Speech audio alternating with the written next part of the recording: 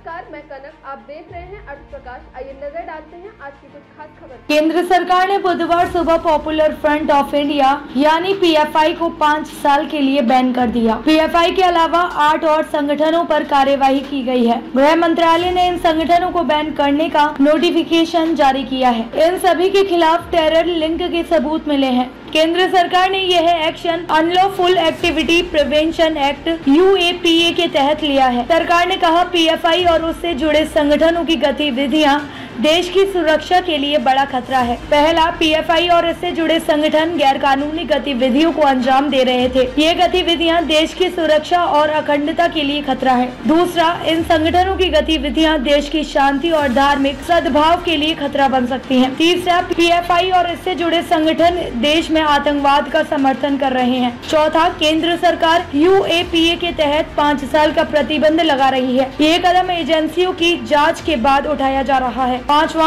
एजेंसियों का कहना है कि पीएफआई के कुछ फाउंडिंग मेंबर्स एसआईएमआई के लीडर्स थे। इसके संबंध जमात उल मुजाहिदीन बांग्लादेश से थे। ये दोनों प्रतिबंधित संगठन है। ऐसी कई घटनाएँ हैं जिनसे ये साफ़ होता है कि पीएफआई के संबंध आईएसआईएस से हैं। ताज़ा अपडेट्स व बड़ी खबरों के लिए सब्सक्राइब करें आज प्रकाश टीवी और बेल आइकन दबाना न भूलें।